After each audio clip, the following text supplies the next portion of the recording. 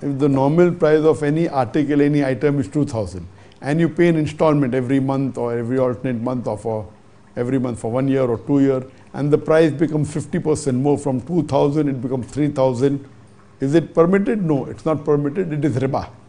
Anything excess is riba.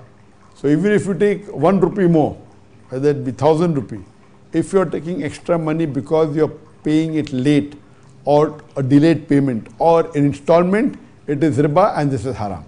And Allah clearly states in the Quran, in Surah Baqarah chapter 2, verse number 278 to 79, that if you give up not the demands of riba, then take notice of a war from Allah and His Rasul. If you deal in riba, whether give or take, Allah and His Rasul will wage a war against you. And who, which human being has the guts to fight with Allah and His Rasul? So this type of transaction is haram.